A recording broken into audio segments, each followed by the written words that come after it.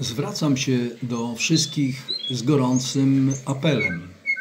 Jesteśmy w okresie wiosny i my, jako strażacy, odczuwamy to, ponieważ są wypalane trawy.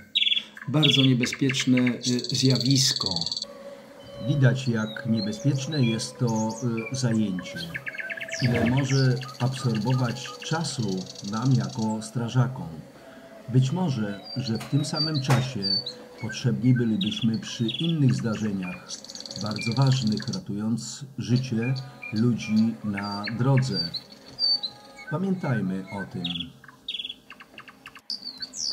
To nie tylko zagrożenie dla y, mienia, ale w ciągu roku kilka lub kilkanaście osób ginie w takich właśnie nierozsądnych e, pożarach.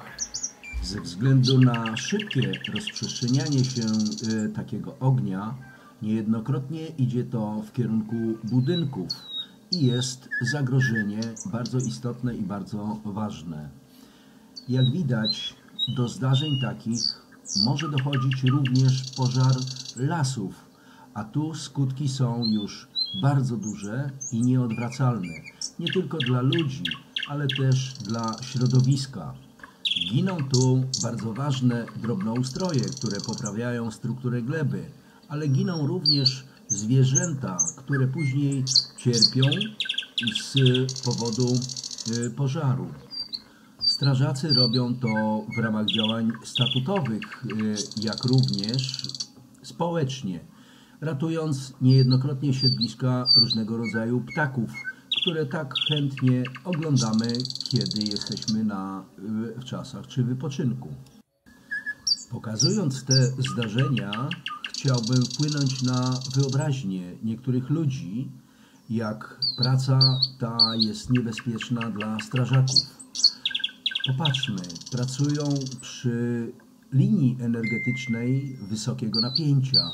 Jak może być to niebezpieczne dla tych ludzi, którzy wykonują to, tak jak powiedziałam, w ramach działań statutowych, ale również i społecznie.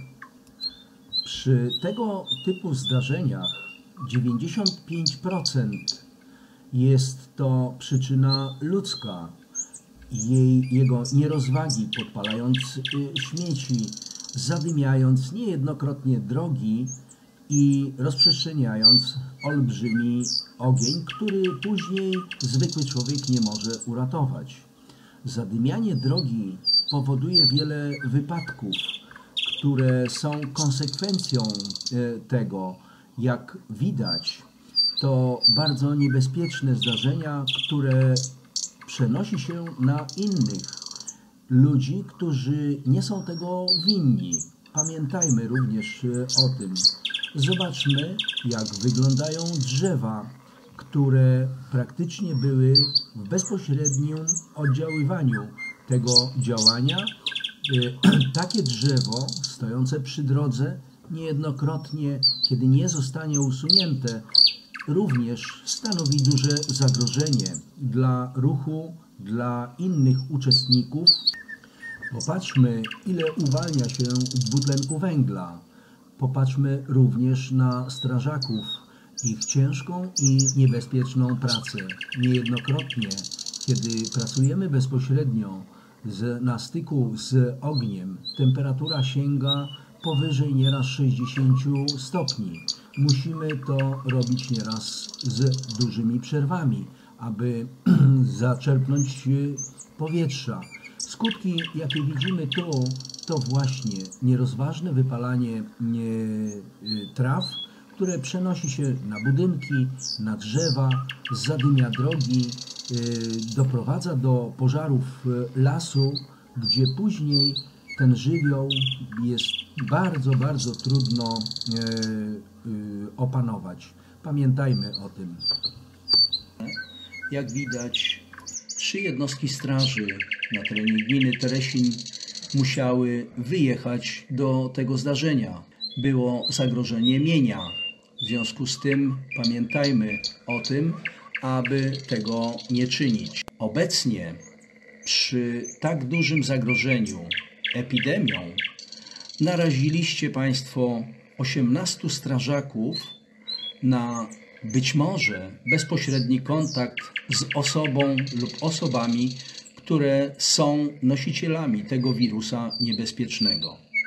Pamiętajmy o tym, że trzeba przestrzegać kwarantanny, trzeba pilnować porządku, ale z tym wszystkim nie należy przesadzać.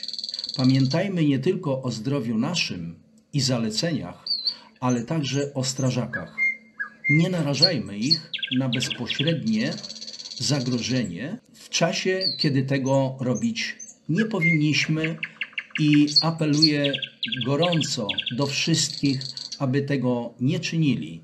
My, strażacy, jesteśmy gotowi nieść pomoc dla wszystkich, tak jak na sztandarach mamy napisane. Bogu na chwałę, ludziom na ratunek. Ale rozwaga wśród społeczeństwa musi być zdecydowanie większa. O to do wszystkich apeluję.